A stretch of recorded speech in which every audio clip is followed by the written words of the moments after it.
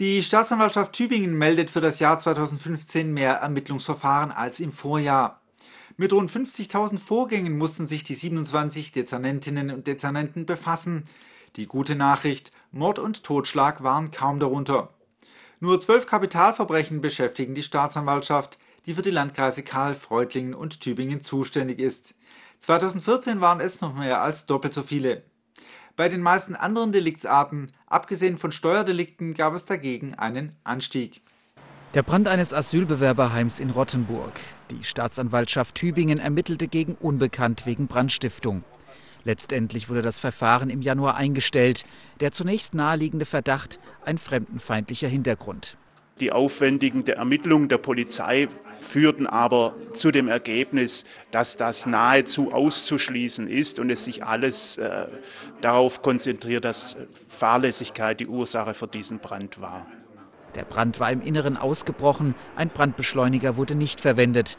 Auslöser war wahrscheinlich eine weggeworfene Zigarette oder eine brennende Kerze. Ins Visier der Staatsanwaltschaft geriet auch das Tübinger Max-Planck-Institut für biologische Kybernetik. Der Vorwurf hier Tierquälerei im Rahmen der umstrittenen Experimente an Primaten. Der momentane Stand der Dinge ist der, dass äh, zwischenzeitlich der polizeiliche Ermittlungsbericht vorliegt. Es wurden sehr, sehr viele Daten ausgewertet seitens der Polizei. Die schriftlichen Unterlagen liegen nunmehr vor und es wurde von uns ein Sachverständiger beauftragt, der nun mehr zu klären hat, ob die Affen möglicherweise hätten schon früher getötet werden müssen, um ihnen weitere Leiden zu ersparen. Doch das sind nur zwei von insgesamt knapp 50.000 Vorgängen, mit denen sich die Staatsanwaltschaft befasste. Dabei ermittelte sie gegen mehr als 25.000 Beschuldigte. Für die 27 Dezernentinnen und Dezernenten alle Hände voll zu tun. Die Arbeitsbelastung ist sehr hoch. Wir haben äh, erhebliche Vakanzen. Das heißt, bei uns sind nicht alle Stellen besetzt. Wir bräuchten an und für sich fünf Staatsanwälte mehr in der Behörde.